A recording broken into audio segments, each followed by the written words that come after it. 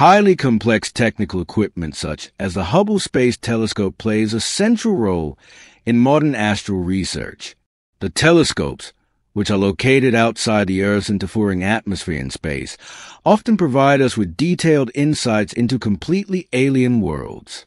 We'll now show you which groundbreaking discoveries have already been made with the help of the Hubble Space Telescope and how the respective findings impressively demonstrate the natural diversity of our galactic home. Excited about the groundbreaking discoveries and unique spectacles of the universe? Give us a thumbs up and let us know you like our galactic excursions into the greatest mysteries of the cosmos, the Hubble Space Telescope. Before we take a closer look at the unique discoveries of the Hubble Space Telescope, let's first get a general overview of one of the most important astronomical instruments of our time. Named after U.S. astronomer Edwin Hubble, it was jointly developed by NASA and the ESA and launched into space in April 1990. As part of this highly ambitious project, experts hope to gain important insights into the celestial bodies of our solar system and to identify previously unknown exoplanets, but also stars, nebula of all kinds, black holes, different galaxies, as well as dark matter and dark energy were to be investigated and deciphered in detail with the help of the Hubble Space Telescope. In order to achieve these ambitious goals, Hubble was to work not only in visible light, but also in the electromagnetic spectrum, in the infrared range, and in the ultraviolet range, and to produce revealing images at a resolution never before seen.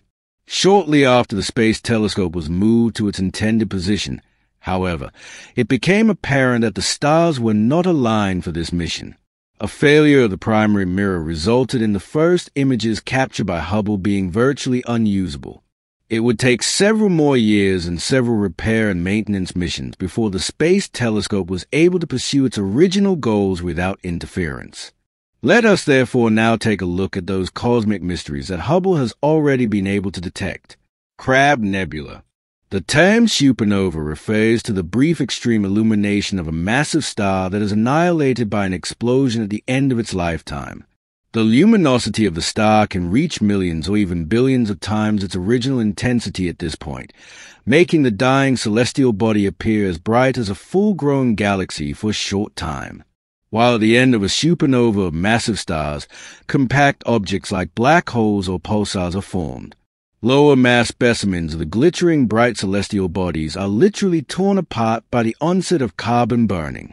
Thanks to the observations of the Hubble Space Telescope, we have already gained many valuable new insights into cosmic stellar deaths. The example of the Crab Nebula, which occupies an area in the constellation of Taurus, illustrates how revealing the images provided by Hubble are. More precisely, they are the relics of a supernova observed as early as July 1054. As a result of the associated brightness burst, the object became the second brightest astronomical object in the daytime sky. In the meantime, a so-called pulsar wind nebula has formed in the remnants of the supernova. This refers to a stream of high-energy particles generated by the extreme conditions prevailing in the immediate vicinity of a neutron star. The nebula in question is still expanding unceasingly, expanding by almost 900 and within a single second. The center of the Crab Nebula is again the pulsar that was created in the course of the supernova. As is typical for neutron stars, the celestial body also has a rapid self-rotation rate. The object rotates 30 times around its own axis per second. Hubble Ultra Deep Field the famous image known as the Hubble Ultra Deep Field, or HUDF for short, proves that the Hubble Space Telescope can even give us a glimpse into the most remote regions of the firmament. The image taken from September 3, 2003 to January 16, 2004 was for a long time the deepest image of the universe in visible light. The spectacular image shows a section of the constellation Fornax, which lies southwest of Orion. Although countless fascinating astronomical formations present themselves in an exuberant variety, the HUDF actually represents only a 40 millionth of the entire sky. In the core, we see besides many other large cosmic objects, about 10,000 galaxies, with a light travel time of these remote regions to us being a whopping 13 billion years. In other words, This means that the image taken by Hubble gives us a direct glimpse into the early days of the universe.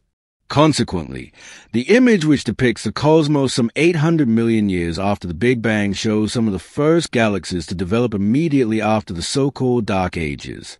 Deciphering galaxies. After Edwin Hubble came to the realization that the universe was home to countless galaxies other than our own Milky Way, he divided the large gravitationally bound collections of astronomical objects into three distinct categories based on their shapes irregular, spiral, and elliptical galaxies. Through the studies of the Hubble Space Telescope, it was possible to decipher some of the characteristics of these different types of galaxies, which had previously been cosmic mysteries. For example, we now know that the centers of most galaxies are graced by supermassive black holes, which play significant roles in the formation and evolution of these gigantic constellations. To understand how important the finding provided by Hubble are terrestrial research, it's worth taking a look at Messier 87. This is a giant elliptical galaxy located about 55 million light years from the Milky Way. In April 2019, scientists were able to confirm the existence of a supermassive black hole at the heart of this galaxy. Moreover, the experts found out that a high energy jet at least 5,000 light years long is ejected from this gigantic gravity monster whose mass is 6.5 billion times greater than that of our Sun. Discoveries of the gravitational lensing effect. In the world of astronomical research, the term gravitational lensing refers to the deflection of light by large masses. Basically, the light from a distant source in the universe, such as that from a star or galaxy, is affected by an object that lies in front of the corresponding sources for the observer and is called a gravitational lens. In its exploration of the cosmos, the Hubble Space Telescope also makes use of technology that takes advantage of this very effect. It's partly thanks to the gravitational lens effect that we have already been able to catch a glimpse of the most distant star ever. This celestial body is optically magnified by the gravity of the galaxy cluster MACS J149 plus 2223 and classified as a blue supergiant. The exciting object is located more than 9 billion light year from our terrestrial home. Impact on Jupiter. The comet Shoemaker-Levy 9 was discovered in 1993. It can be assumed that the natural astronomical missile, which had an average diameter of almost 3 miles, was captured by the strong gravitational forces of Jupiter as early as the 1960s. So, after the comet was forced into a strongly elliptical orbit around the largest representative of our planetary system, it passed the gas giant in the early 90s within the Roche boundary whereupon it broke up. This criterion, named after the French astronomer Edouard Albert Roche, compares the gravitational forces that hold an object together internally with the tidal forces that pull it apart. Within the Roche limit, the body can no longer withstand the forces acting on it and begins to disintegrate. This was also the case with Comet Shoemaker-Levy 9. It broke into 21 fragments between 165 and 3,300 feet in size, which accumulated along a chain a million mi long. In July 1994, the fragments of the spacecraft finally slammed into Jupiter's southern hemisphere. In the process, the Hubble Space Telescope succeeded in directly observing such an event for the first time in history. The sheer magnitude of the forces released by the impact becomes clear when we consider that the fragments hurtled toward Jupiter at a speed of 36 meters per second, releasing energies of 650 gatons of TNT or 50 million Hiroshima bombs. As a result of the impacts, a dark structure the size of the Pacific Ocean formed on Jupiter. Important findings about exoplanets. While people knew practically nothing about those planets outside our solar system in past centuries, hundreds of these alien worlds have already been identified through the use of highly modern detection methods.